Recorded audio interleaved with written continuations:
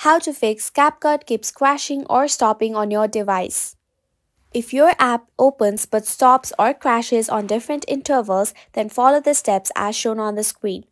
First up, open up the CapCut app in your device and go to the profile. Click on edit on the bottom left and then click on the settings icon on the top right. Here, you can see an option called clear cache. Click on the clear cache option and then click on OK. Clearing caches won't delete your drafts and hence is safe to use.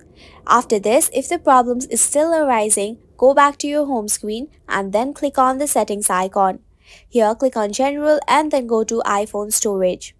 Let the interface load and then in the list of apps down there, scroll until you see the CapCut app. Click on CapCut and then click on Offload app. After offloading it, after a few seconds, you will see an option called Reinstall app. Click on the reinstall app once it is loaded and this is how you can easily fix CapCut keeping crashing or stopping on your device. We hope this tutorial helped you. Thank you for watching and do subscribe to our channel for more such videos.